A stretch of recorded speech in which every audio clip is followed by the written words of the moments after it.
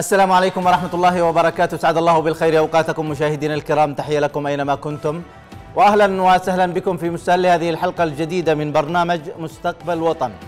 مشاهدينا الأعزاء تتحرك إيران وفق مخططاتها ومشروعها التفتيتي والتدميري والتمددي أيضا في المنطقة. يخدمها في ذلك وبشكل مباشر غباء أبناء الدول العربية والنافذين فيها وسياستهم الخاطئة من مناكفات وصراعات تستطيع من خلالها أن تتسلل لتحقيق أهدافها. تحركت بهذا الشكل في كل من سوريا ووصلت قبلها إلى العراق وتحركت أيضا في اليمن ولها مآرب أخرى في دول متعددة. اليمن مشهد جديد من مشاهد مسارح الدمار الإيراني. آه، حرب اليمنيين ضد ذراع إيران في اليمن وفي المنطقة آه، في الجزيرة العربية آه، قائم منذ سنوات. والحرب ما زالت مستمرة للقضاء عليه، لكن تصرفات أخرى لا تقل غباء وخطرا على تصرفاته على تمدد وسيطرة الميليشيات الحوثية على صنعاء حدثت في جنوب اليمن عندما سيطرت الميليشيات المتمردة أيضا المطالبة بالانفصال على العاصمة المؤقتة عدن حيث كان يفترض أن تكون منطلقا تتوفر فيها إمكانيات الدولة والحكومة والرئاسة وقيادة الجيوش لتتحرك نحو عدن نحو بقية المحافظات عفوا لتحريرها. لكن هذا الخطأ الكبير الذي وقعت وقع أو دعم آه، دعمت هذه الميليشيات فيه ومن قبل دولة الإمارات في حقيقة الأمر. ذكرنا لمقولة رئيس البرلمان الإيراني علي راج آه، علي آه، لارجاني حيث قال في عبارة مشهورة له قبل فترة بأن هدفهم في اليمن دولتين دولة شيعية في الشمال وأخرى صديقة في الجنوب. فهل قاربت آه، أهداف المشروع الإيراني على التحقق بعد معطيات الميدان الجديدة وإلى أي مدى المملكة العربية السعودية والشرعية تعتبر حاجز الصد الحقيقي والأساسي لمواجهة هذين المشروعين في اليمن سواء المشروع الإيراني المباشر آه، في صنعاء آه، وفي المناطق التي تسيطر عليها الحوثيون أو كذلك المشروع الغير مباشر في عدن. وكيف خدمت آه، الإمارات العربية المتحدة هذا المشروع بتبنيها ودعمها للمتمردين والميليشيات الانفصالية. هذا الموضوع مشاهدينا الكرام أناقشه مع ضيفي هنا في الاستوديو الكاتب والمحلل السياسي الأستاذ عبد الله عمر باوزير. أستاذ عبد الله أهلا وسهلا. حياكم الله ومرحبا. أهلا, أهلا وسهلا فيك وإحنا سعيدين بك اليوم ودائما أنت صوت قوي وواضح وتحليلاتك دائما وخصوصا في الشأن اليمني والشأن العربي عموما بما يتعلق بخططات إيران. آه، قارئة بشكل جيد للمشهد ومستقبل أيضا التحركات. دعني اولا قبل أن أبدأ معك نتابع هذا التقرير الذي أعده الزميل فؤاد فارس. تفضل.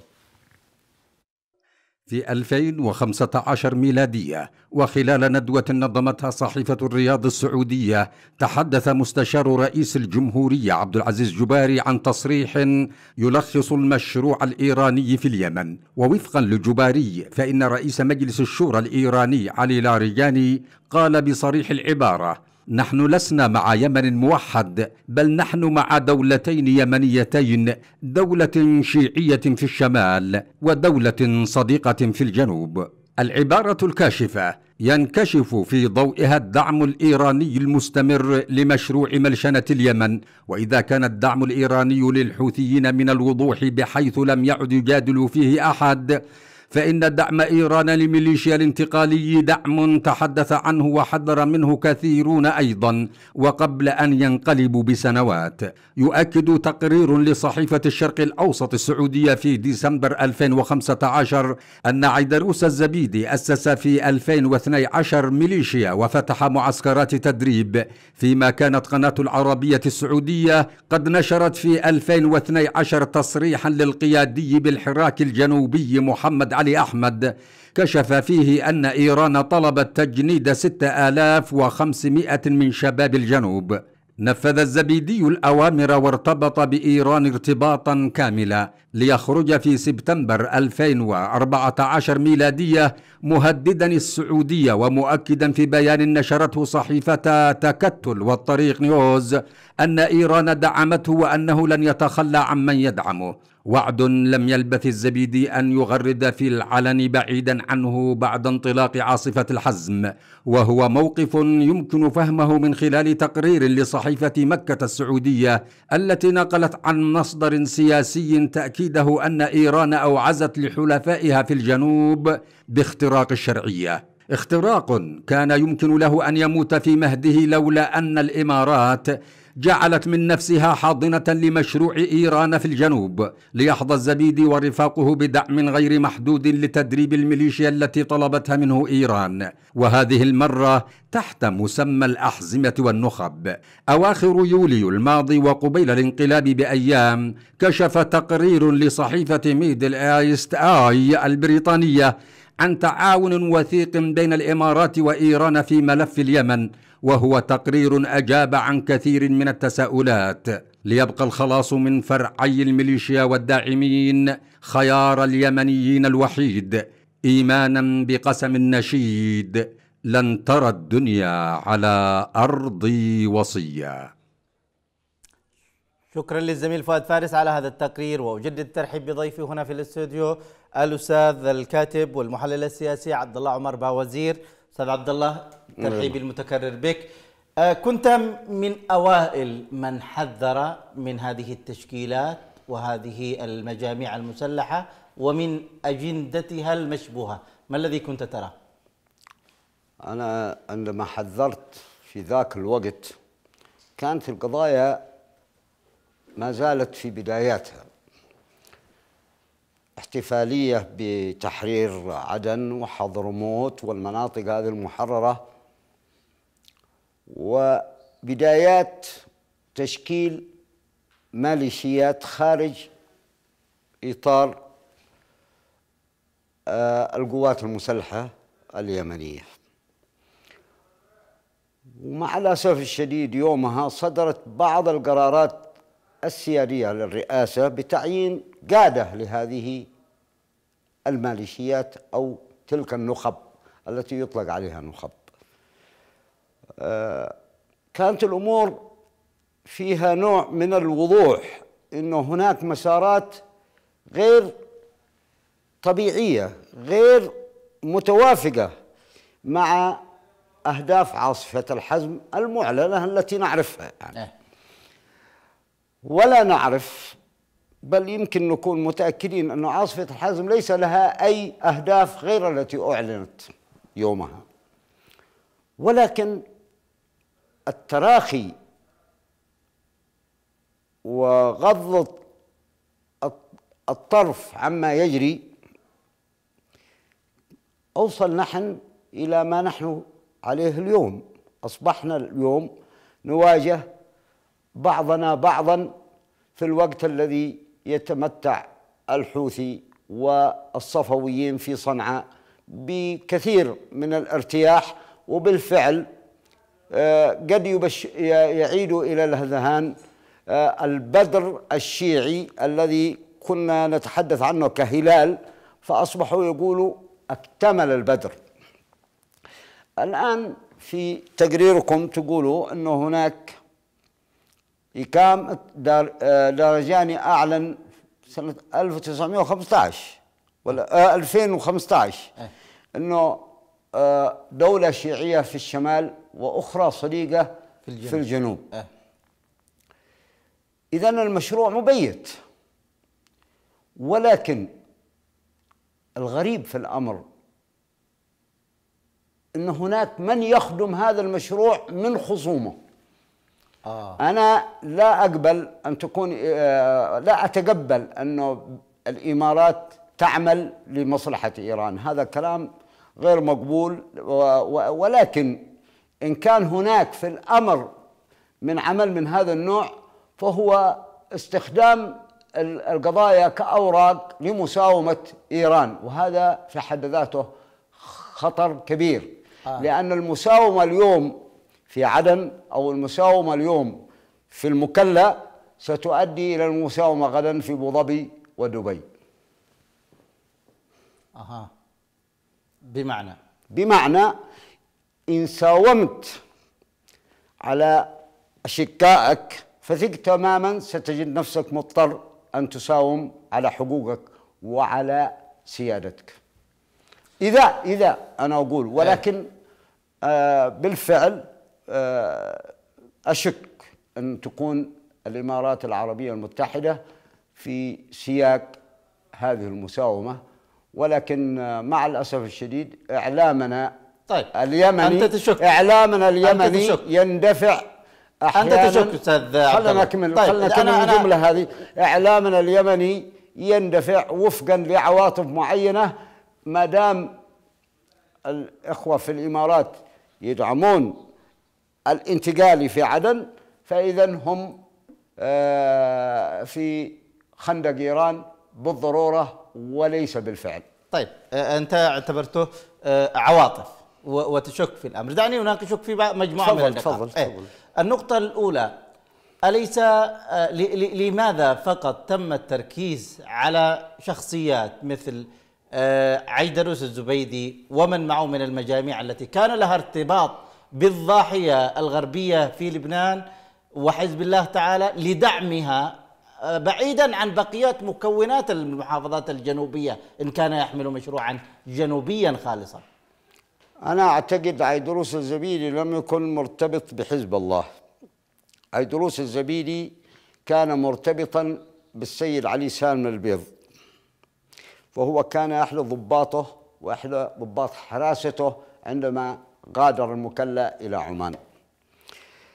في 94 طبعا.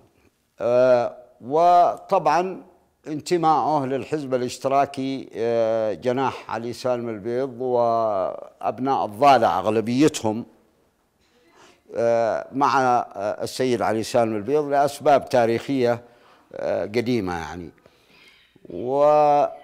وربما كان له ارتباط في بيروت من خلال علاقته بعلي سالم البيض.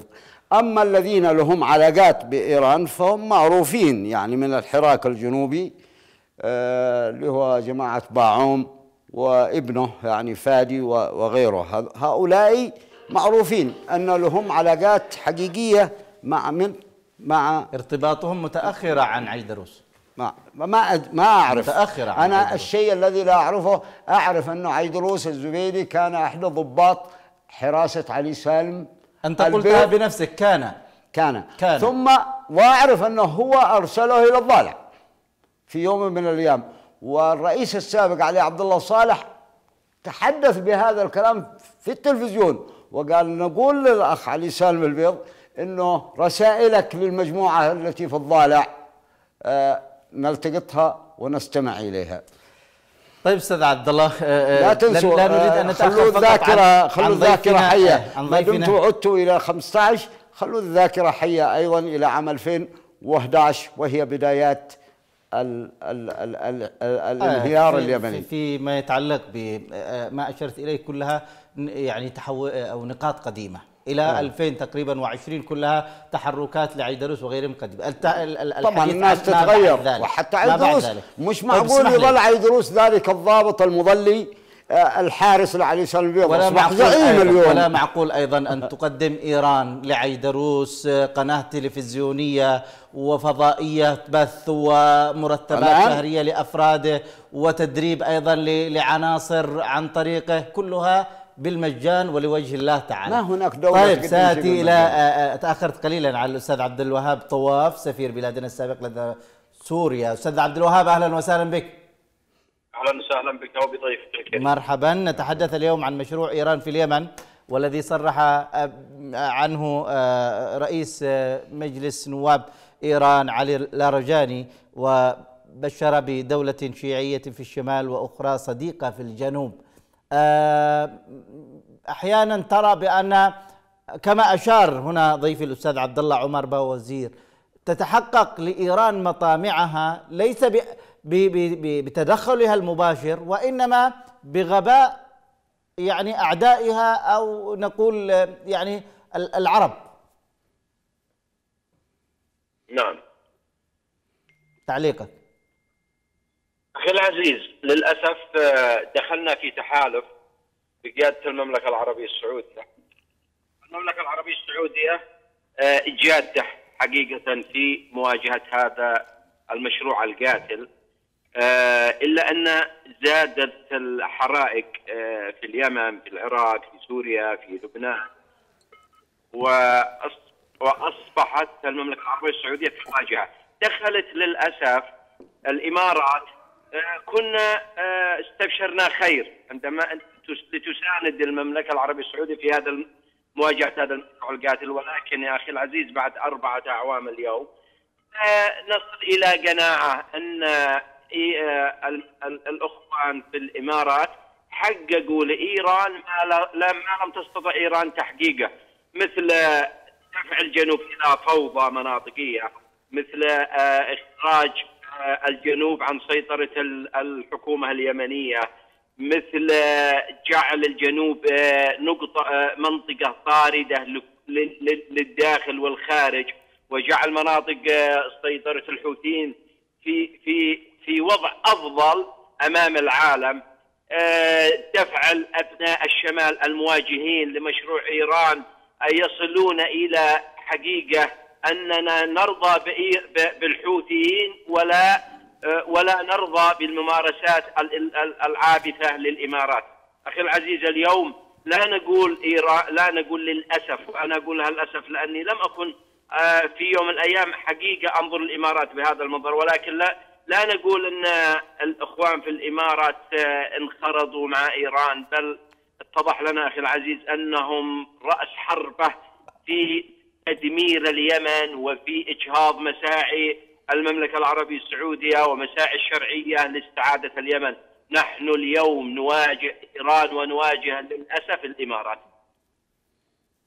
نعم أستاذ عبد الوهاب طواف السفير بلادنا السابق لدى سوريا كنت معنا شكرا جزيلا لك وأنقل كلمتك الأخيرة مباشرة إلى الأستاذ عبد الله عمر بوزير يقول السفير عبد الوهاب طواف اليوم اليمنيون يواجهون إيران في صنعاء ويواجهون الإمارات في عدن. أنا أتمنى على اليمنيين أن يواجهوا آه، الإمارات آه، ليس بال- بالطريقة ال- الخصومة والمواجهة التي لا تحتمل التقارب. أريد من ال- ال- ال- الرئاسة اليمنية والجهات المسؤولة في الدولة اليمنية أن تعمل مع الأشقة في المملكة العربية السعودية على رأب الصدع لأنه التحالف العربي هو ال ال ال الخندق الأساسي في معركتنا الحقيقية. وخروج الإمارات أو آه، الدخول مع الإمارات في إشكاليات قد يؤدي إلى تفكك آه، التحالف العربي وبالتالي نجد أنفسنا أمام مشاريع تقسيم اليمن إلى أربع دول. عن أي أربع دول تتحدث؟ معروف آه، تقسيم اليمن إلى أربع دول إنه تكون حضرموت هذا أقليم حضرموت دولة بيسمونها دولة حضرموت العربية بدعم من الإمارات؟ و و أنا ما أقول بدعم من فقط أحد. نريد أن أنا نفهم. أقول أقول وعدن- يجب وعدن يجب دولة؟ يجب أن نعمل على آه، على الت- على استعادة العلاقات الودية على الأقل المصلحية إن لم يكن لديهم من الود ولدينا من الود تجاههم انه هناك مصالح بيننا وبينهم.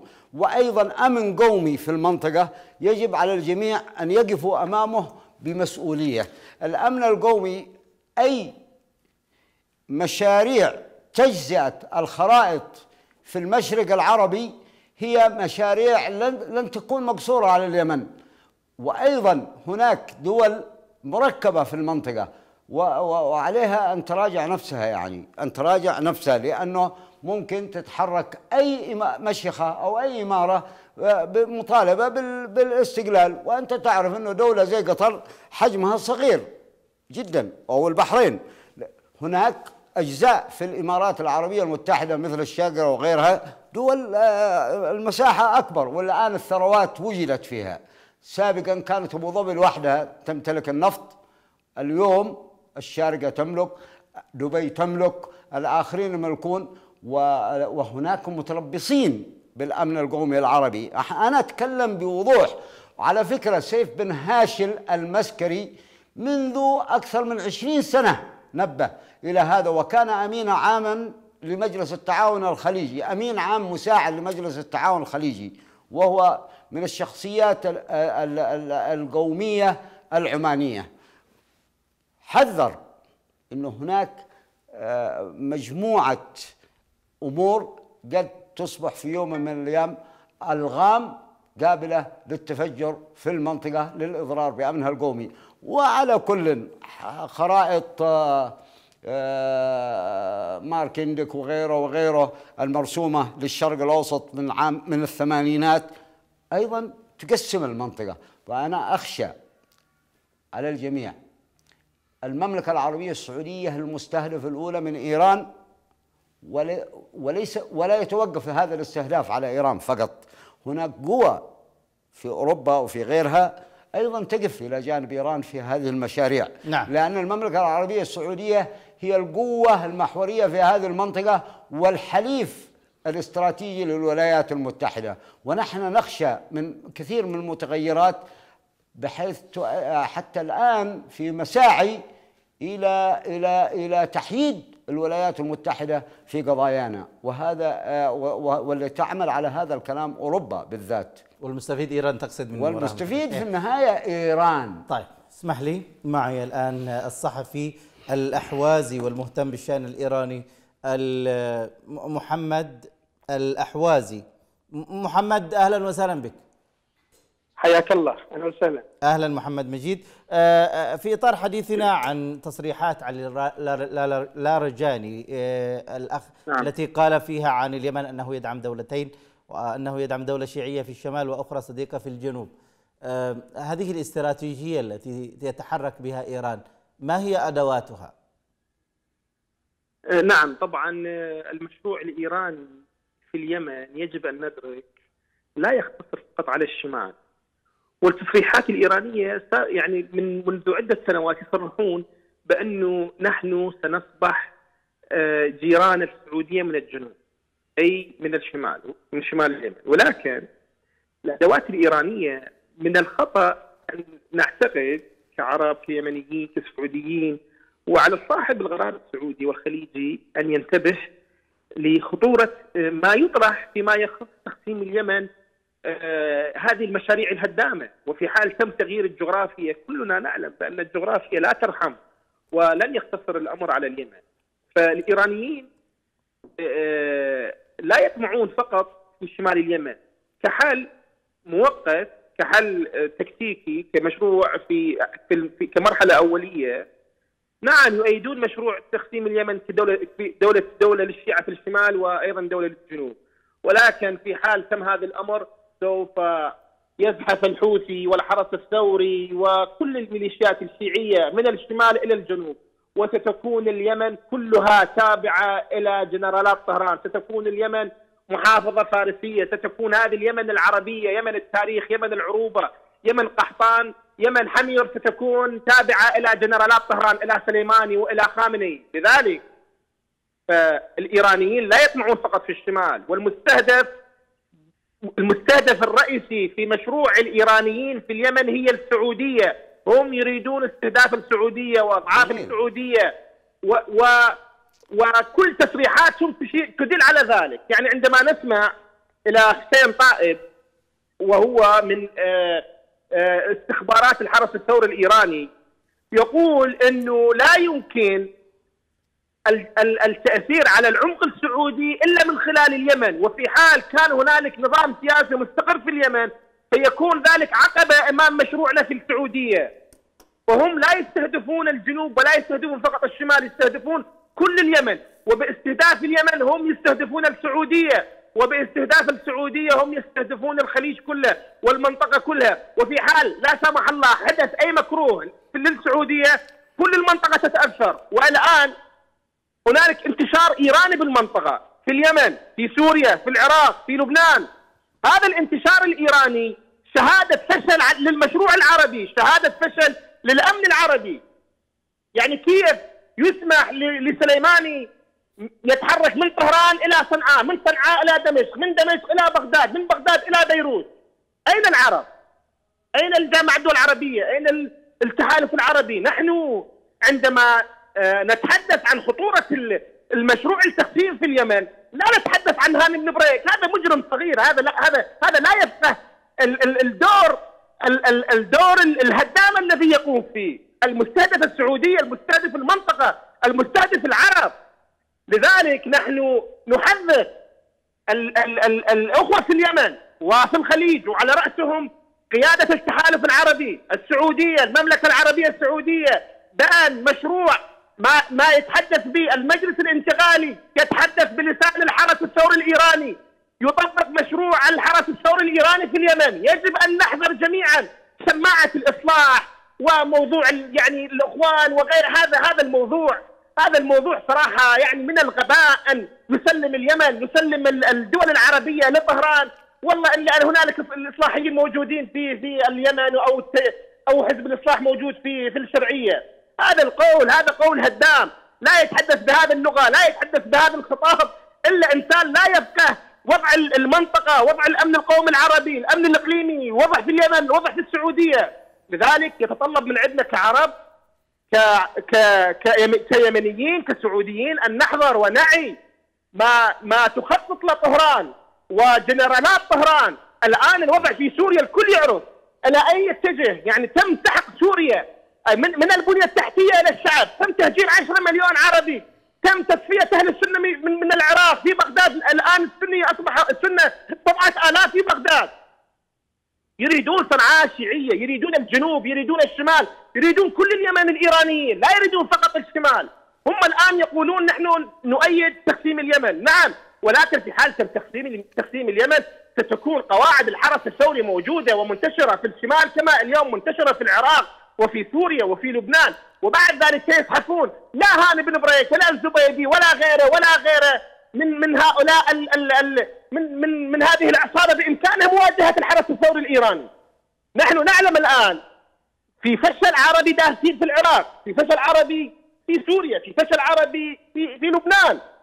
فهذه الدول كلها فشلت في مواجهة الإيرانيين وإنت هاني بن بريك رايح بكرة تقدر لذلك الدور يجب أن ندرك الدور والبندقية التي يرفعها المجلس الانتقالي ما يسمى بالمجلس الانتقالي هذه بندقية حرس ثوري.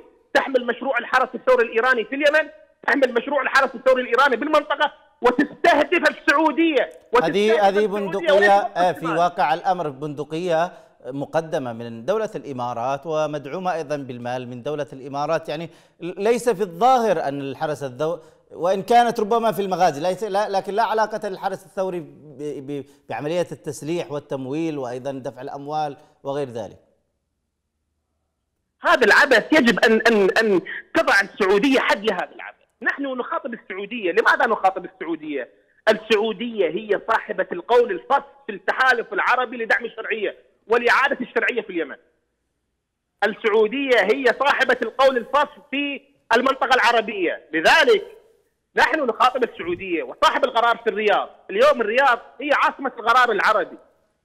فيجب تتحرك السعودية لتضع حد لهذا العبث نعم. في أمن المنطقة، تضع هذا تضع حد لهذا العبث في استهداف المنطقة وتقسيم المنطقة، تقسيم اليمن والعبث في الجغرافيا لا يرحم والموضوع لا يقف عند اليمن، هذا نقول الآن وغدا سترون بأنه كل المنطقة ستتأثر.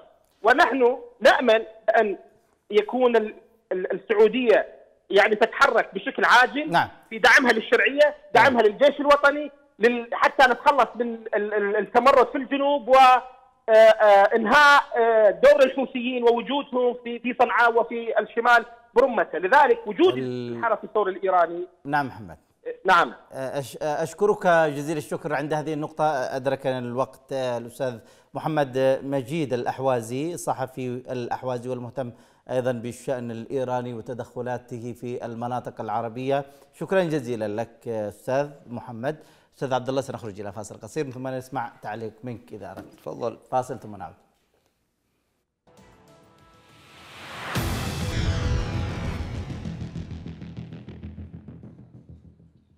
مرحبا بكم مشاهدينا الكرام. عدنا إليكم بعد هذا الفاصل القصير لنكمل حلقتنا وحوارنا مع ضيفنا هنا في الاستوديو الأستاذ المحلل السياسي عبد الله عمر بوزير. كرر ترحيبي بك أستاذ عبد الله فيما يتعلق بالنقطة التي أشرت إليها بأنه الواقع الآن موجود يجب أن آه، يتعقل الناس فيه و آه، يعني أشرت إلى أنه يذهب يعني يحل بالطريقة السلبية. وهذا آه، الجميع اليوم يتحدث عن هذا الجانب والامارات والمملكة العربية السعودية ترعى حوارا في هذا الإطار. لكن دعني أتحدث عن التعقل.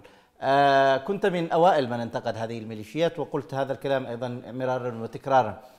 أي تعقل أكثر من سماح رئيس الجمهورية للإمارات بتشكيل هذه آه، المجاميع المسلحة في عدة مناطق في المحافظات الجنوبية بعيدا عن رحم آه، وزارة الدفاع. آه، من أجل استمرار آه، التحالف وعدم شقة صف أي تعقل أكثر من أن رئيس الجمهورية يعين لهم وزراء في الحكومة لأعداد لا بأس بها استرضاء ويعني تماشيا حتى لا يحدث شكل الصف أي تعقل أكثر من تعيين خمسة محافظين في خمس محافظات جنوبية من أصل عدد قليل منها ربما نسبة كبيرة تصل إلى أكثر من النصف من المحافظات الجنوبية لشخصيات انتقالية من أجل أن تمضي الأمور ويسير الجميع ضمن هذا الهدف. بعد كل هذه التعقلات وبعد كل هذه الترضيات في الوكلاء والمناصب والمحافظات يسقط عدن ويطرد الحكومة الشرعية؟ أخي العزيز سياسة الاسترضاء هي التي أوجدت هذا الكلام أوجدت هذا الواقع. هناك وزراء في الشرعية الآن موجودين وزراء. في يوم من الأيام كانوا يهاجمون الشرعية من لندن أو من القاهرة أو من أي مكان آخر على قنوات مثل الجزيرة وغيرها. ولإسترضائهم عينوا وزراء. أيضا مجموعة عيدروس وغيره من البدايات عيدروس من مبكر قبل انقلاب صنعاء كان ومجاميع يطلقون أنفسهم حراك جنوبي وحراك مسلح غير الحراك السلمي كانوا في الضالع. وتم استرضائهم بتعيين هذا وزير وهذا وزير دولة وهذا محافظ لعدن. الاسترضاء على غير بحث وتصويب للاتجاه أوصلنا إلى هذا ما وصلنا إليه.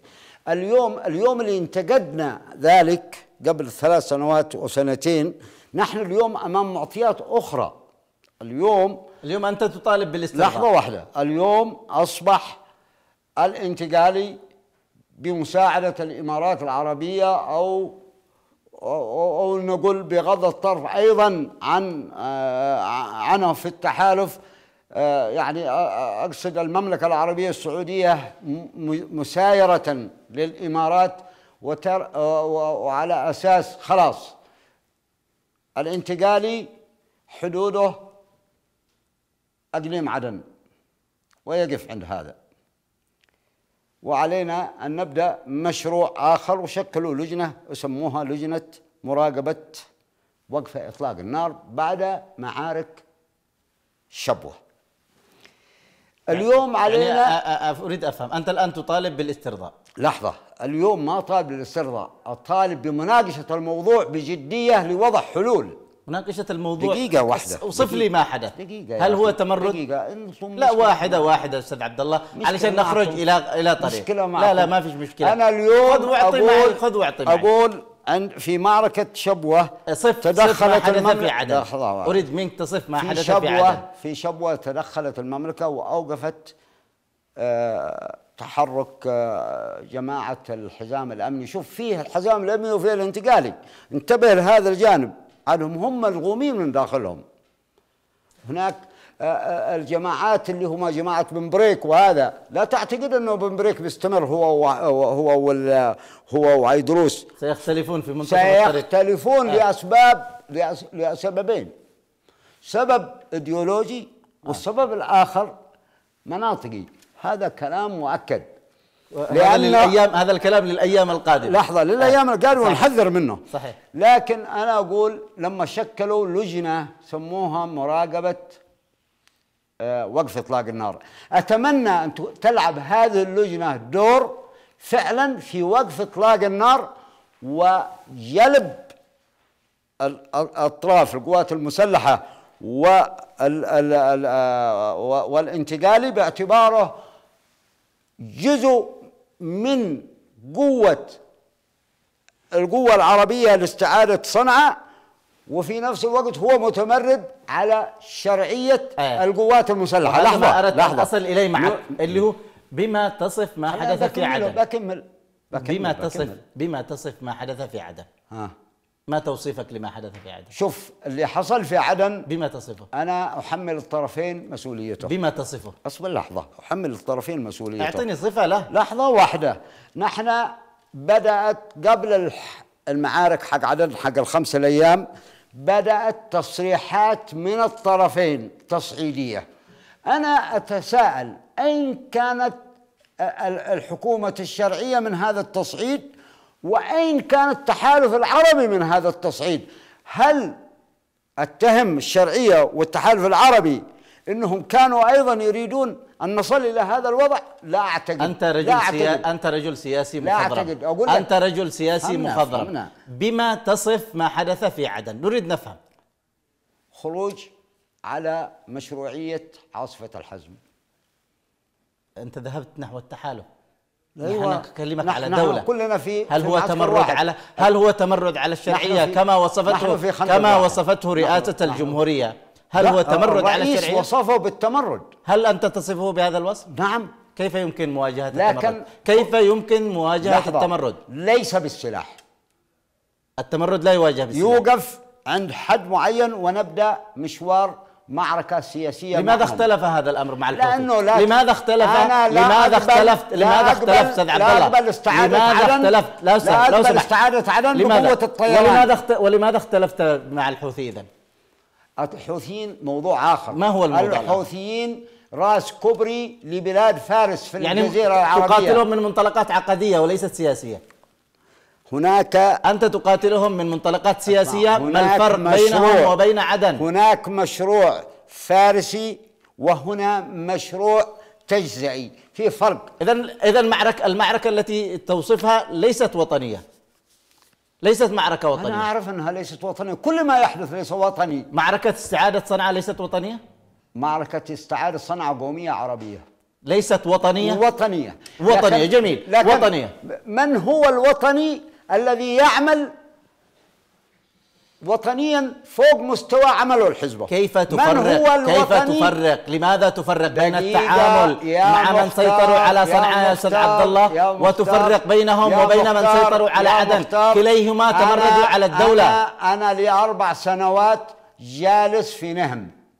جالس في لا لا. نهرب إلى لحظة هذه. لحظة. أنا أريد أفهم النقطة التي أستاذ عبد الله أفهمنا. جاوبني على سؤالي بصراحة. اللي أوصلنا لماذا تفرق بين تعامل صنعاء وتعامل عدن أنه عيدروس الزبيدي يتحالف مع الحزام الأمني ومع الإمارات ويقوموا بحركتهم الفشل في كتاف الفشل في نهم إعطاء مارب دولة على حساب المناطق المحررة الأخرى مثل حضرموت وعدن. طيب جميل. هذه نقطة. أنا أعود إلى النقطة التي أثرتها. كيف مجموعات مسلحة سيطرت على صنعاء وانقلبت على الدولة وطردت الشرعية. أيوة. بالمقابل مجموعات مسلحة سيطرت على عدن واستولت على مؤسسات الدولة وطردت الحكومة الشرعية. لماذا تفرق في التعامل مع هذه ومع تلك؟ ولماذا الإعلام؟ لا تذهب إلى الإعلام. لحظة. جاوب على يا أخي ما سؤالي. خليتني أكمل كلمتي. أنتم مشكلتكم هذه. أما أكون معك اسمعني، لا أنا. أريد منك جواب صريح وواضح يا أستاذ عبد الله. يا أخي ما أدري لن أول مره أول مرة تهرب من الأسئلة. أجاوبك ابدا أنا لا أهرب. لا أجاوبك إلا بما أنا أرى مش بما تراه أنت. بما أقنعني ويقنع اذا المشاهد. أصبر. ما لي بما علاقة. يقنعني ويقنع أنت- المشاهد. أنت مش طيب المشاهد. جاوبني. أنت مش المشاهد. جاوب. المشاهد طيب جاوب. ويشاهدك. سؤالي سؤالي الذي يحكم. سؤالي لحظة. واضح وانت جاوب لحظة. تفضل. أنا أقول فشل أربع سنوات للجيش الوطني وتعداده بمئات الآلاف. ونشأت هذه القوى وك- وكلنا نشاهدها وسبق وحذرنا من تصاعدها ومن توسعها. ولكن مع الأسف الشديد بقيت الدولة خارج المناطق المحررة. تم تعيين محافظين ومدراء أمن. لم تستعد الدولة مؤسساتها. بالتالي أصبح هناك فراغ وإذا ما وجد الفراغ الفراغ وجد من يسد هذا الفراغ. أنا أقول الآن أمام أمر واقع لا أريد أن أستعيد عدن واخضع عدن للشرعية بقوة السلاح لأن هناك مدينة عانت من عام 1967 وحتى اليوم تعاني. ثانيا السلاح لن يحسم شيء. اطلاقا. السلاح سي سيجر طيب جميل. هذا المنطق. المزيد من الدماء. الحوثيون. الحوثيون عن صنعاء. الحوثيون عن صنعاء يقولون نفس هذا الكلام. أذهب إلى مش... م... م... مكان آخر. هناك قوة تستطيع أن تضغط على الأطراف وهي المملكة العربية السعودية. دعت إلى جدة. لماذا. لا يذهبون إلى جدة ذهبوا أول لا. أول ما دعت المملكة إلى جدة وقبلوا جماعة الانتقال هذا وقبل الرئيس عبد ربه منصور وقابل الملك نفاجأ بتصريحات من هنا ومن هناك ومن داخل مكونات الشرعية. لا أقول الشرعية من داخل مكونات الشرعية تقول لا تفاوض ولا مفاوضات إلا إذا سلموا مقرات الدولة وهل كانت هناك مؤسسات دولة موجودة حتى يسلموها نعم. أصلا ما فيش من قال. لك من قال لك كان البنك المركزي ما موجود البنك كان المركزي. كانت لا، الحكومة لحظة، تتواجد لحظة، لحظة. كانت المعسكرات تتواجد آه معسكرات. مش مؤسسات دولة أنا أتكلم عن مؤسسات دولة من الذي منع حضورها؟ وسياسية من الذي منع حضورها؟ المعسكرات من. الذي منع مؤسسات الدولة أن تقوم؟ من الذي منع رئيس الجمهورية أن سيد، يقوم؟ يا سيد يا طيب اسمح سيد. لي آه، يا تأخرنا قليلا على الاحتكاكات الوزير. منذ فترة طويلة موجودة بين معسكرات الشرعية ومعسكرات الانتقالي تأخرنا قليلا على طويلة، مش من آه، اليوم. مستشار رئيس الجمهورية ورئيس حزب الرشاد الدكتور محمد هو مشكلتنا موسى. في حزب الرشاد والنهضة وغيره من هذه الأحزاب اللي ما لها وجود أصلا. أهلا وسهلا بمستشار رئيس الجمهورية ورئيس حزب الرشاد الدكتور محمد موسى العامري. مرحبا دكتور أهلا وسهلا بك. مع الوزير. أهلا وسهلا حياك معذرة. تأخرنا آه، عليك قليلا آه، ربما الأحزاب السياسية أصدرت اليوم بيان وعلقت على آه، الأحداث بما يمكن تلخيصه أو إجماله وما تعليقه اولا أقول حياك الله وحيا ضيفك الكبير الكريم والمشاهدين الكرام وإن كان ال- الأخ يبدو لي أنه يعني حسب ما سمعت من بعض كلامه قليل هكذا مجازف في الكلمات لكن ربنا يغفر لنا وله. على كل حال القوى دعواتك السياسية ال- القوى السياسية أصدرت بيانها ووضحت موقفها مما جرى. وهذا لا شك أنه واجب وطني وواجب إنساني أيضا. هناك كارثة حصلت هناك مجزرة لا مبرر لها وقعت.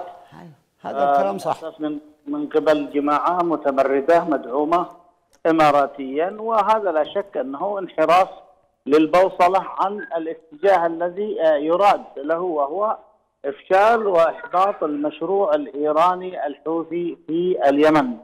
البحث أو الاتجاه إلى بنيات الطريق بكل تأكيد هو خدمة لهذا المشروع. هما مشروعان يخدم بعضهم بعضا وهذه حقيقة.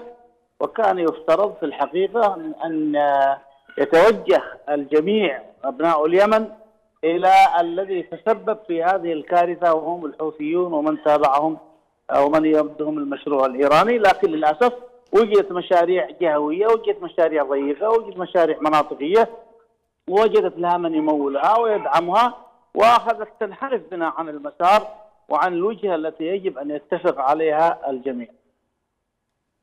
نعم, نعم. بيان ال- الأحزاب السياسية ربما البعض يتحدث بأنه تأخر عن مواكبة الأحداث بما تعلق على هذه النقطة وأبرز ما ورد في هذا البيان